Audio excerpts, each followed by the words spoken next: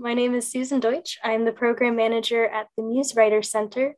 We're a 501c literary nonprofit based in Norfolk, Virginia, and we provide creative writing classes, literary events such as this one, as well as a number of outreach programs for anyone who wants to learn how to write or learn how to improve their craft, all ages, all genres, and all experience levels. We also just released our new class schedule. Most of our classes start in February and March, so be sure to take a peek on our website, the-muse.org. And we'll go ahead and get into it. So tonight we have a book launch for Mike Krentz. And here with us is also Kelly Sokol, who will be introducing Mike. Uh, she's one of our teachers at the Muse. She teaches the fiction studio and is the author of the novel The Unprotected. Go ahead and hand it over to Kelly. Great. Thank you so much, Susan. Um, I am so thrilled to be here tonight, and I it's an honor and a pleasure to get to MC uh, Mike Krentz's second book launch for this stunner of a novel, Angels Falling. Um, I've worked with Mike now for several years uh, through the Muse Writer Center and the fiction studio, and I am so fortunate that I've gotten to be an early reader um, for several of Mike's projects, including Angels Falling. Uh, we were just talking about it before the Zoom started, but Mike, I it breaks my heart that your second book um, is also being launched in pandemic times, and we can't um, gather together in person to celebrate you for the second time. Um, but I realized part of that is because you're just really prolific and you are publishing at a really fast rate that the rest of us can only aspire to two books in two years. Um, but also here in Virginia Beach, anyway, I am definitely hearing the unmistakable tinkle of some ice against my windows. So perhaps, you know, as usual, you were one step ahead of the rest of us for planning this virtual launch. Um, but I have to say, hopefully, everybody else here will raise a glass with me um, in toasting this incredible novel um, and just a really tremendous human being who is part of our Muse community. And it's just this community, we're so fortunate to have people like, like Mike who are so active um, in our workshops, on our board, you know, it just across across the spectrum of being involved, being committed to his classmates and to other people's burgeoning literary dreams. So, Mike, I'm thrilled again to be here. So that everybody has a sense of how things will go. Um, Mike is an absolute pro. He's a great reader. So he's going to pick some wonderful selections to share with us tonight.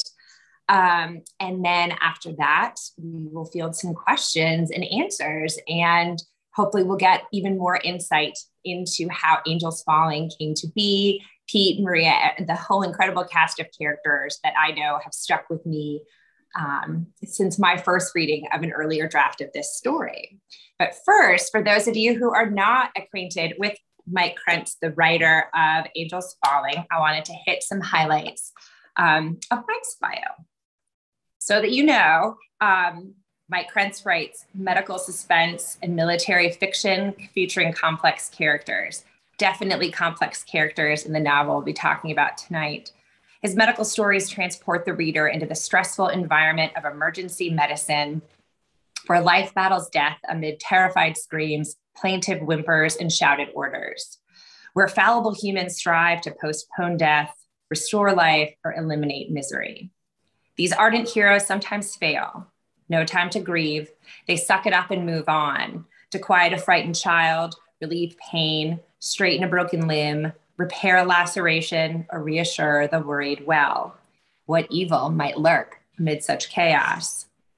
Born and raised in Arizona, Mike Krentz earned a classical degree in English from the University of San Francisco, a doctor of medicine degree from the Medical College of Wisconsin, and a master of public health degree from Johns Hopkins University. Following a civilian career as an emergency physician, Mike rededicated his professional life to serve America's Navy and Marine Corps heroes and their families and to honor their sacrifices in defending our freedom and way of life. Serving in hospitals, ships, and air wings, he earned 10 personal decorations, including five awards of the Legion of Merit. His last active duty assignment as the 7th Fleet Surgeon on board the flagship USS Blue Ridge became the inspiration for his forthcoming Mahoney and Squire series. After retiring from the US Navy, Dr. Krentz continued his service as a consultant supporting the Navy in Marine Corps Public Health Center. Upon completion of that mission, he returned to his earliest life passion as a full time writer of character based stories. And aren't we glad he did? Please let me welcome everybody, Miss Dr. Mike Krentz. And the mic over to you. Well, th th thank you, Kelly. Uh, that was that was really wonderful. Uh, you, you, you could have just uh, summarized it and said Mike Krentz is still trying to figure out what he wants to be when he grows up. But uh, it's a pleasure to be here, and uh, it's a pleasure to to share my work with with the, the folks at the Muse. And I'm going to say right off the bat, uh, no sense in putting it off. I owe a lot to the Muse Writers Center. Uh, the reason I've gone from a wannabe published author to a published author, uh, I can attribute directly to my experience in the Muse, the support I got at the Muse, uh, the tremendous uh, input from uh, my fellow students and from really qualified teachers like Kelly Sokol. So, so Kelly, thank you, thank you for for making all this possible. And thank you, the Muse, for having me. Uh, we're going to move right on to the readings, I guess. And um, Angels Falling is a, is a character-based um, novel. There are three main characters whose lives intertwined decades prior to this, uh, this current uh, event. And, and we're going to talk about a little bit about each of them uh, and, and do some readings that, that I hope illustrate who they are. Before we do that, I'm going to, I'm going to read the, the prologue, which is unusual to say the least. Uh, I have no idea how I came up with it, but I did. And, and I can tell you that it's, it's written in a somewhat poetic style. Uh, you may recognize some of the uh, some of the phrases as having been lifted directly from giants of literature, and um, but I can also tell you there's some Easter eggs in there, and, and there's a lot of a lot of clues as to what this story is all about. So I will begin with the prologue to Angels Falling. Death is underrated. Thanatos where art thou? Ubi mortem, la muerte. Consummation devoutly to be wished, to peer deep into darkness, perchance to dream. Dreams no mortal ever dared? Mierda! No death dreams out Herod life's nightmares Hamlet, you sniveling dolt. No rub. Fact. Darkness there and nothing more. To be or not to be is not the question. No choice, no more. This mortal coil fetters my sorrow laden soul. Dolorous I am, imprisoned, defiled, abandoned. I beg for death. Demon dreaming? Forevermore. Life, be not proud. Slave to fate, chance, desperate beings. Bear the whips and scorns? No respite nor nepenthe. My shadow on the floor. Kill or die? That is the question. Live to kill, kill to die. Surcease of sorrow? Not. Death never kills me. My soul from out that shadow? Shall death die? Is there balm in Gilead? Nevermore. Okay, that's the prologue. so let's let's meet the villain. I, I often like to start a story with villain, and this villain's name is Rule, and he's just murdered the Archbishop of Washington uh, in the sanctuary of, of his cathedral. So we'll read about Rule. Rule removed the bloody oil stained, excuse me, latex gloves and stepped back to admire his handiwork. Perfect. He swept his gaze around the sanctuary of St. Matthew's Cathedral and glanced toward the Chapel of the Holy Angels and aloft to the right. After trading the dirty gloves for a fresh pair from the rollerboard case, he extracted a 14 inch statuette and placed it near his victim's head. He turned the statuette a few degrees so that it faced the dead man's heart. Satisfied, he retrieved his upper clothing from atop the altar, put on a black clerical vest over his blood-stained t-shirt, adjusted the Roman collar in front, donned a black suit coat over the vest, and placed a black fedora on his head. He paused at the feet of the dead archbishop, made an exaggerated sign of the cross in the air over the corpse, and spoke in a mocking voice Kyrie eleison, Christe eleison, Kyrie eleison. He grabbed the suitcase, made a last check for telltale clues, and left the cathedral by the side door he had jimmied open hours ago. He departed 40 minutes before the scheduled opening for Sunday morning Mass. Yeah, that's Rule. Not a pleasant character. Okay, so uh, the next brief readings will, will highlight the three main characters uh, in the story itself. And we're going to start with Pete Sullivan, who's a former seminarian uh, who, and now an FBI profiler in Washington, D.C. Pete Sullivan glanced at his smartwatch as he passed the six mile marker of the Marine Corps Marathon. Nine minutes, 38 seconds per mile. He needed to average nine minute miles or less to meet his goal of finishing in four hours or fewer. Don't push it. 20 miles to go. Pick up a few seconds each mile. Save energy for the sprint at the end. Pete opened and closed his hands in sync as he pushed his legs to speed up just a bit faster. He shifted his mind to the Queen soundtrack, rocking him via his phone to Bluetooth earbuds. His mind played along. If he had time to set up the playlist right, he would cross the finish line singing along with Freddie Mercury as champions and friends. As he neared the seven mile marker a few minutes later, a high pitched beep interrupted Queen's bicycle song in Pete's ears. Who would call him this early on a Sunday morning? His few friends knew that Pete would either be running in a race or training for one. He ignored the call. Seconds later, the beep came back. Pete shook it off, checked his watch at the seven mile marker. 924 pace, better. Another annoying beep in his ear. Cramp.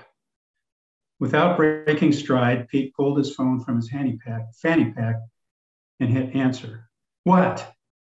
He panted in the phone to, into the phone to emphasize being bothered by the interruption. A somewhat familiar male voice answered, Pete Sullivan? Yeah, more panting. Tony Mason, FBI. Deflated, Pete breathed into the phone as he continued running, his pace slowing against his will. What do you want? You. How soon can you get to St. Matthew's Cathedral? Poor Pete didn't get to finish the marathon. We're going to talk now about uh, second main character, Maria. Maria Santos is her name. Maria took a relaxed pace as she strolled the half mile from the gym to her apartment near DuPont Circle. The fall air invigorated her body while the luxury of a full night's sleep and the afterglow of her Krav Maga workout sustained her spirit. With a full slate of patients scheduled the coming week in her growing psychology practice, she looked forward to a quiet day off to recharge her energies. She hoped a long afternoon nap would prevent the recent upturn in her chronic headaches. When she unlocked the front door to her apartment, a peculiar sensation washed over her, as if someone was with her. She shook it off. Not the first time her mind tricked her. She dropped her workout bag in her bedroom, threw her gym clothes into the hamper, and headed for the shower. After the shower, Maria stood in front of the mirror over the sink and dried her long black hair. She reached for her hairbrush, but her fingers closed on nothing. The brush was not in its usual spot on the counter, just to the right of the sink. That's odd, she said. She always put the brush in the exact same place. The phone rang in her bedroom. She answered it, holding back her still damp hair as she held the phone to her ear. Dr. Santos? Female voice, serious. Yes. This is Detective Louise Vandermark, Metro Police. A chill shot up Maria's spine. Did I do something I don't remember? Again? Her voice quivered. Okay. I'm lead investigator for a murder that took place this morning at St. Matthew's Cathedral. We'd like to retain your services as forensic psychologist to assist our investigation. Maria shook her head. I'm sorry, detective, I just can't. Personal request from Chief Markle. Game changer. Years ago, when both she and the chief of the Metro Police Department were younger and less established, his discretion over an unfortunate event had saved her career, if not her life. She owed him. Okay. She would have to reschedule her patients. When do you need me? Can you come to the cathedral now? So much for Maria's Quiet Sunday. And uh, the final uh, if we're not too late on time, the final uh, character of the three main characters is uh, a man by the name of Gabriel. Awakened by a migraine headache, Father Gabriel, Gabriel Valentine arose in careful practiced moments, movements rather, to keep the pounding in his head from erupting into full-blown agony. In the bathroom, he swallowed his prescription medication with a full tumbler of water, then padded back to bed with a cold washcloth to cover his eyes.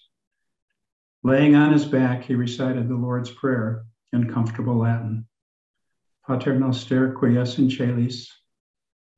Sixty minutes later, as if to an alarm, Gabriel sat up in bed.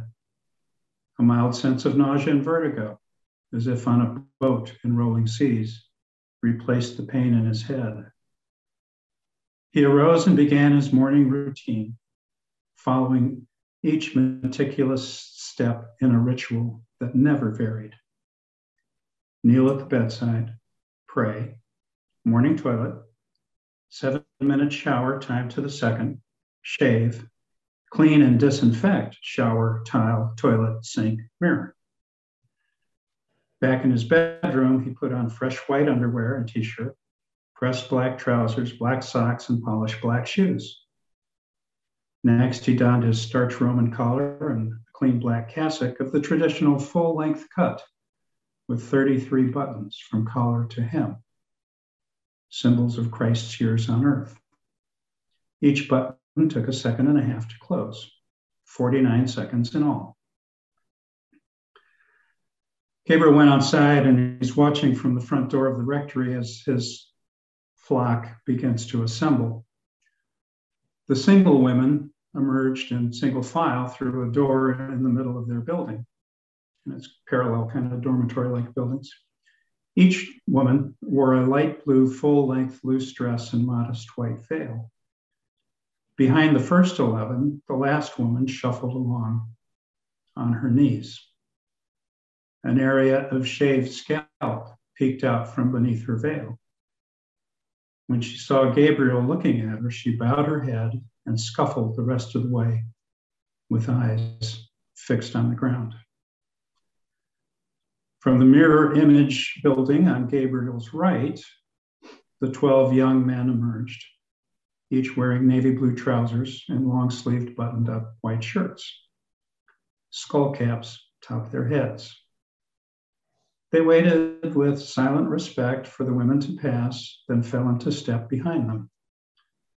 The last man shuffled along on his knees, his skull cap revealing a shaved head. Without looking at Gabriel, he kept his gaze fixed on the ground as he moved along behind his fellows. No one spoke, in keeping with Gabriel's mandate of absolute silence on Sunday mornings before Mass. As he watched the man and woman trudging on their knees, he decided to release them after Mass from their kneeling penance.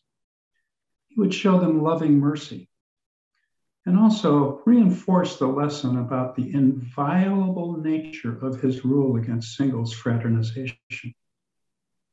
The slow regrowth of their hair would be a lingering reminder for several weeks. At precisely noon, verified by his watch and the clock on the wall, Father Gabriel Valentine, dressed in flowing Kelly green vestments, joined two 12 year old altar boys at the church entrance for the procession down the center aisle to the sanctuary. Passing between the wooden pews, he counted those in attendance. 51 followers scattered among the pews for the Sunday Mass, three missing the Chandlers and their rambunctious five year old daughter, Annabelle. The parents had seemed distant of late. Pay them a visit today. Gabriel stopped at the foot of the three steps to the altar, genuflected, and began the service with his back to the congregation. In troibo ad altarum Dei. The altar boys he'd personally trained responded in unison Deum qui laetificat juventutum meum. Gabriel continued the Mass using the ancient Latin rituals and movements passed down through prior centuries. He and his followers considered the modern Catholic liturgy, in his own words, a pedestrian abomination that reduces Holy Mass to nothing more than a Sunday brunch. After reciting the gospel in Latin, Gabriel mounted the pulpit, faced his followers, reread the gospel text in English, then launched into his sermon. He had timed it for 12 minutes, his standard length. He preached about the value of tradition, loyalty to the one true church, and the cult's commitment to activism against false prophets. Near the end of his talk, he scanned the faces in front of him. My brothers and sisters, in less than a week, the false pope, the successor of the heretics, John and Paul, the pretender to the throne of St. Peter, will invade our land. How shall we, the true believers, react to this Antichrist in our midst? What witness must we proclaim for the one true church? And that's Gabriel. He's got a few issues.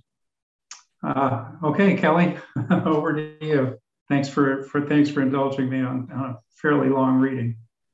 Oh no, thanks, Mike. I just was sitting here thinking for me, and I think for so many of us who are participating tonight, those of us who love books, I mean, there's nothing like hearing an author read his own work in his own voice. And then also, you know, our opportunity to have access to the brain that created this story. And so I'm thrilled again that we are part of it. And we really appreciate you giving us this sense of your multi point of view and multi, you know, multiple central characters in, in the book. Um, and which first I have to ask, I mean, I have have my copy because I pre-ordered it um, because I like to do that. Where can we get Angels Falling, Mike? Where can we find a copy of your book? Right now, uh, the only way to get it is from Amazon.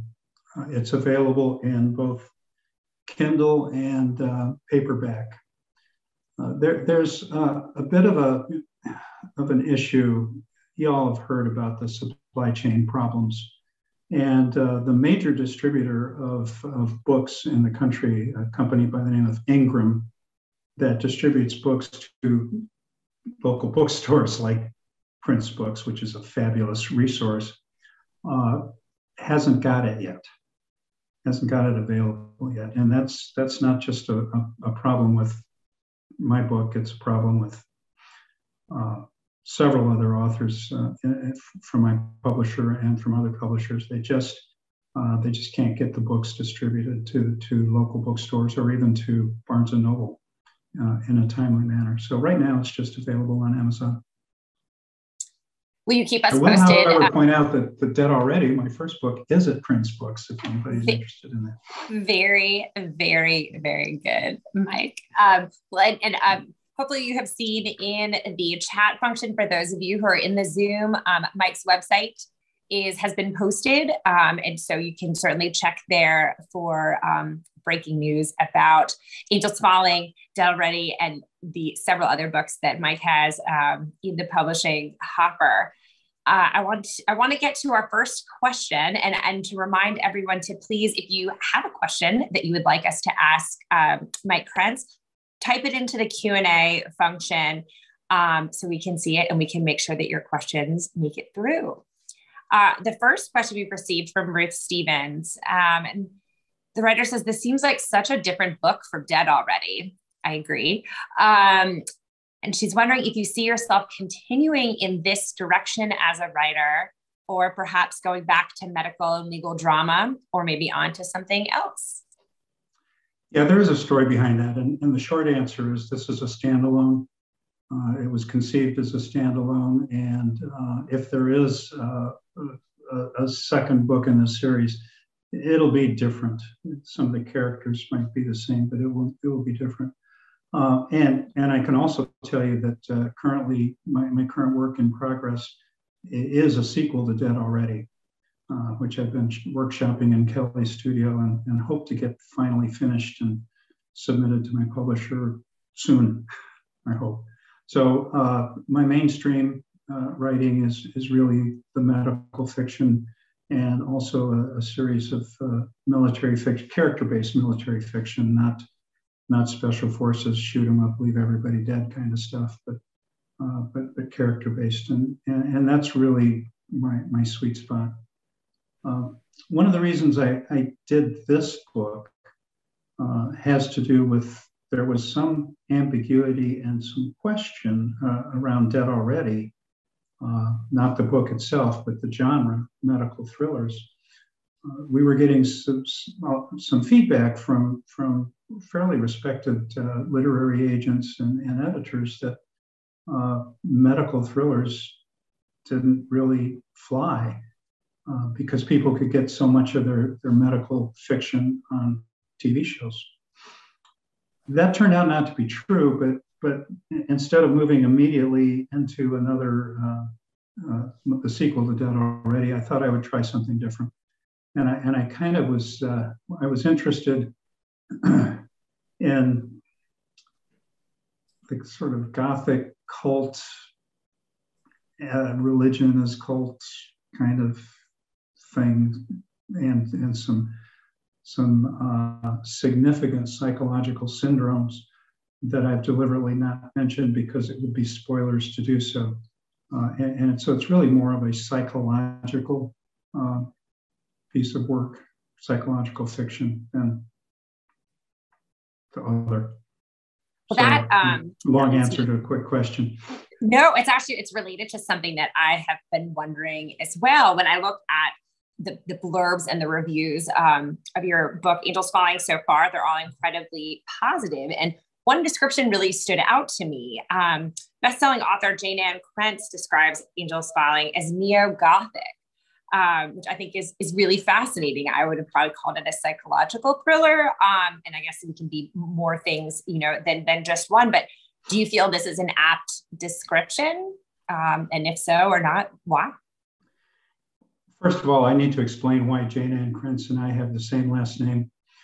Uh, it's because she's married to my cousin Frank, my older cousin. So uh, we are we are cousins by marriage, and, and, Jayne, who's a very, very, very successful uh, New York Times bestselling author, has has been a mentor and supporter to to my work for oh, a decade or more now.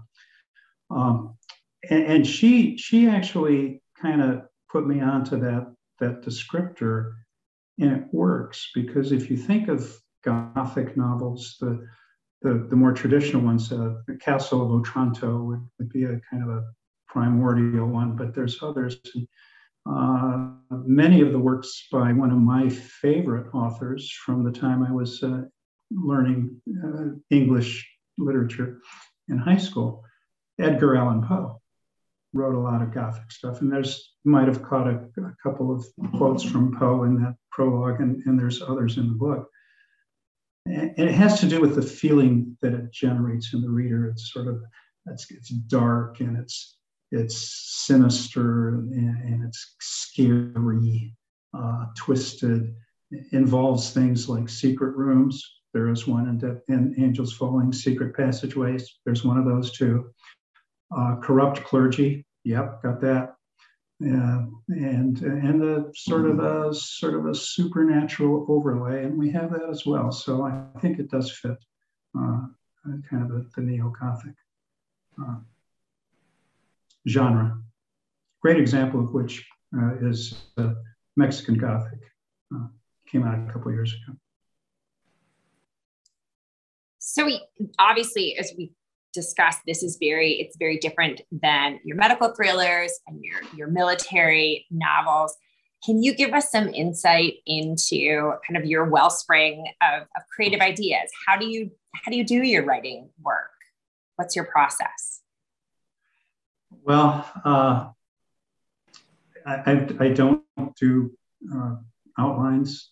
I, I, do a very rough outline, and uh, because my stories are character based, and, and, Kelly, you've seen this as, as uh, your studio has suffered through some of my early drafts. Uh, as the characters develop and as I write the characters, I get to know them better. And I like to say the characters tell me where the story is going. Well, that, that's not entirely true because they're, they're not real. Uh, if I if I you know carry on a conversation uh, with my characters, uh, then perhaps I need some psychology, psychological help.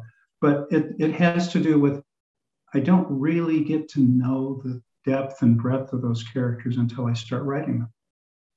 And then I realized that the initial concepts that I had uh, about what they were going to do to build the plot is, is not the way it should be there's a better way to do it, and and that's that's how I write. Uh, I know other people do extensive outlines, and maybe they go through that same process with an outline. I I, I know that, uh, for instance, James Patterson generates long outlines of his books when, when he writes his own books. Um, David Baldacci does a more of what I do, which is, and he handwrites his. It's it's a brief uh, synopsis outline, if you will, over several pages, which is what I do.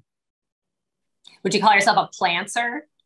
Then plantser, sort of, yeah, yeah, I'm a plantser.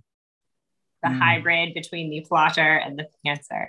Yeah. Very good. I think that there are for as many writers as there are in the world, there are processes that fit, right? And I think definitely in our studio, you know, so many people take very different approaches, and I think every writer has to find what works best for for themselves specifically and then also i think for the for the project Susan Paxton uh, would like to know if you're willing to give us a sense of your background in Catholic history and rituals because they are so sure. vivid in Angels Falling. Oh, yeah, sure. Uh, when I was in high school, I thought I wanted to be a priest. And so I went to the Catholic seminary at the age of, oh, probably 14, 15, something like that. Stayed for seven years, decided I liked girls too much, got out. Uh, but uh, learned uh, an awful lot and and uh, very in a very positive sense. It was it was a positive experience, albeit um, certainly an alternative lifestyle from what most uh, high school and young college students of, of my generation were doing. Uh, but I learned a lot of Latin, which uh, helped me learn other languages, Romance languages like Spanish. And I, I, knew a lot about the, I learned a lot about the, the, the history and the traditions and the, and the, uh, the rituals. So that's where I got it. It reads so inf- informed, and it is just you very much place the reader in all of these settings, but then also in these rituals and in the place and in the sounds and the the smells and the textures. And it really is. It's just this that wonderful verisimilitude we can just step right into your characters and it's really it's a treat thank you something else that does actually run through running run through the two novels that we have um, debuted online with with the muse um, for you is the sport of running uh, yep. meet pete sullivan in this novel uh, about a third of the way through the marine corps marathon and I remember when I read this the first time that any runner, knowing they had to stop at mile six, um, how frustrating that would have to be, um, and knowing that so much of that race laid before him. Um, I'm wondering if running has influenced your creative process. It has, and, and I'd be interested in your take because I know you're you're also a runner, uh, an ultra long distance runner that I've never I've never done. Uh, I have run eight marathons. Uh, earlier in my life. I, I did Marine Corps, uh, I think twice. So, so there was that familiarity with it. But I, I think there's something about running that um, puts you in a place where the only person that you have to worry about is you. Unless you're an elite runner, which I certainly never was, uh, you're not going to win this race. The best you can do is the best you can do. And isn't that true about writing too? I mean, who wouldn't want to be Stephen King or John Irving or J.K. Rowling? But we can all be the best we can be. And, and there's something about that, uh, particularly endurance, long distance running, uh, I'm sure you've experienced it, where you reach a point in, in a marathon where uh, you desperately want to stop, but you don't let yourself stop. You keep going and you keep going, and, and that's that's the way it is with writing too. Um, you keep going because you have to. Yeah. Because if you don't keep going, you're going to be, you know, on a shrink's couch somewhere, paying hundreds of dollars an hour. so yes, I've always said running, running and writing are cheaper than psychotherapy. Yes. you're a doctor, so you're telling us we can just use those as healthy replacements. So that that's that's great to hear. Um, it's a, it's that kind of one step after another, one word after another. I do think there's there's a, a link there, and that I think what you're saying is so interesting. That keeping going even when in the moment um, stopping would be easier. Do you had, have you had moments like that in your writing career where you thought maybe you had kind of reached um, kind of as far as maybe you were going to go and, and considered not putting that next word on the page? I have uh, more than once, several times, many times. I, I think uh, most writers do, uh, and the ones who succeed are the ones who keep keep going. Uh, it's hard. You, you, know, you're a writer. It's hard. It's hard work, and uh, I think that without the support of uh, a network of fellow writers uh, such as such as the Muse uh, or or whatever support group you can you can come up with, uh, you, you can keep going. But yes, I've I've come close to quitting several times. I think that's just it's an important perspective when we're talking about know, this launch of your second book and that. So often you know we we all joke in studio about the um, the overnight success right? But that overnight success usually is the result of decades of, of work but that's those are private hours and personal time. Um, whereas the you know when you have the, the, the novel to show for it that's the outward facing um, moment. Do you have advice for people who are maybe in that place? They're feeling frustrated by their attempts at whether finding an agent or an agent selling a book or just kind of on the on the business end of writing what would your advice be? Go for a run. That's what i do. Seriously. Uh, yeah, it doesn't have to be an actual run, uh, but I, I, I've gotten through uh, you know, plot blocks, writer's block, uh, doubts uh, by by, by uh, running or doing some other kind of healthy sort of thing. Um, it's okay to put the story away too for a while and work on something else. Uh, there, there's a, I believe there's a certain subconscious process that has to happen, uh, and, and, you can't rush it.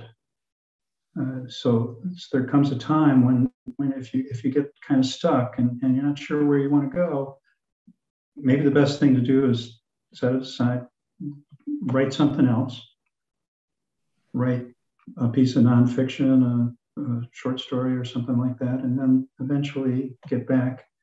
Um, I, I, I, end up doing that not necessarily voluntarily. voluntarily.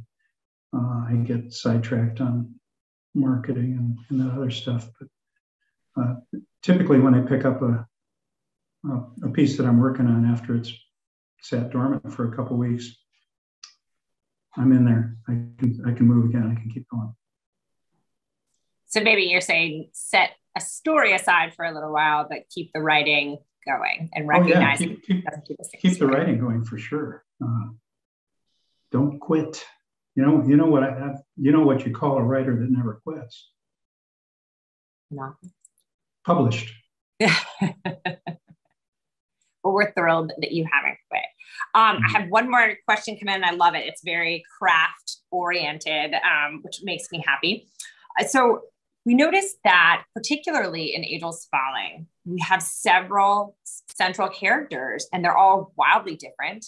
Um, and you keep their voices, their just their personalities, their mannerisms, their speech patterns really nuanced and distinct um, how do you get to know your characters and, and how do you find those distinct voices and keep them that way while also braiding their storylines together to keep this tremendous narrative tension that really runs through your novels so I, have I've actually taught a course on this at the Muse. I, I may teach it again as well about weaving multiple plot lines and multiple points of view.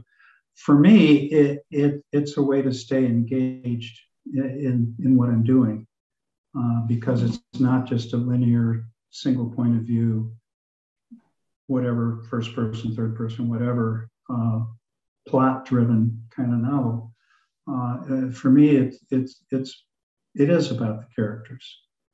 And I, maybe I'm a frustrated actor. I kind of like to play the roles of the characters. I mean, could you tell I kind of enjoyed being Gabriel as weird as he is. Uh, that's not me, but it's like I'm play acting. I'm, I'm, an actor playing that role, and it's kind of fun. So I guess I guess that's how I do it. Well, you said when we were talking about your intro that you know you joked that you just you're just finally figuring out what you want to be when you grow up. But isn't that one of the most beautiful things about writing fiction? Is that we have the opportunity to inhabit minds and experiences and you know imaginary um, you know bodies that we we can try on so many different personalities and characters as writers and creatively that we don't always have to decide who we're going to be and stick with it. I love it. You know, it's it's it's fun when when you really get into it. Once you get past the you know, the hard parts, and there's plenty of hard parts, it's fun. There's nothing else I'd rather be doing right now than writing. Well, what a beautiful sentiment. And we're so thrilled again as your readers um, that you love to write and you keep you keep it going. Um, wanted to just throw out there that if anybody has any final questions, you can type them into our Q&A. We'll give everybody a second. Um, and be sure to connect with Mike Krentz on um, his social media, on his webpage. Um, a lot of those that information is available on Facebook, our Facebook Live, um, at the Muse Writer Center webpage, um, on our Zoom right now, um, and elsewhere. And thank you, everyone, um, so much for being here. Mike, thank you so much for taking the time to give us this glimpse into this really compelling world that you've created in this novel. Well, it's it's it's been it's been fun. Um, I have to share with you what my wife said about it when she read it. She said, "You know, it's really scary sleeping next to somebody with that imagination." and I took that as a, as a huge compliment. Uh, but but yeah, it was fun, and and as uh, as I mentioned to uh, an earlier question, it is probably a one-off. Uh, we're we're getting back into uh, Zach Winston and Bridget Larson and a few of their other characters that uh, that I think that I think is going to be be a fun a fun book too. Uh, the the other uh, two that I have coming out, uh, they're actually both at the publisher now. The manuscripts is is the first two of uh, of a four book series of character based military fiction. the the first two primarily feature women in naval aviation. Uh, because those those those folks are my heroes. Uh, after having uh, worked with them and uh, really immersed, I mean, you're on a Navy ship. Your lives are immersed together, you know, and and, and the things that they have to do just to, to succeed are tremendous. So, so those are two two books be coming out sometime, and uh, and then and the sequel to Dead Already uh, coming out soon. So uh, it's it's going to be enough to keep me off the street for probably another couple of years. I hope.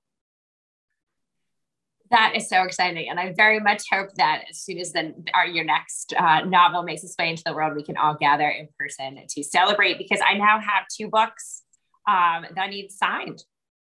the one time I've seen you in person, that we were able to be in person, uh, I did not have your book with me, and so now I have to have a big book mm. signing when it is going to be safe someday. So I am, uh, I'm ahead of you because I have a signed copy of The Unprotected by Kelly Sokol. and I and I, I will also mention that I, I am currently reading a, uh, a pre-publication uh, review copy of, of Kelly's next book.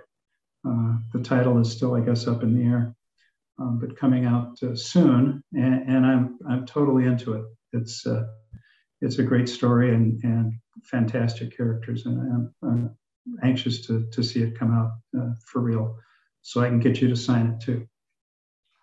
Well, thanks, Mike. I know it'll 2022 uh, will be quite that quite the year. Um, are there any closing comments you'd like to leave your readers with tonight before we sign off? Yeah, keep keep safe. Uh, we're, we're living we're living in crazy times, and and, and uh, it, it, doesn't have to be as bad as it is, but uh, just stay safe, y'all, and, and uh, keep reading, keep reading, so that we can keep writing.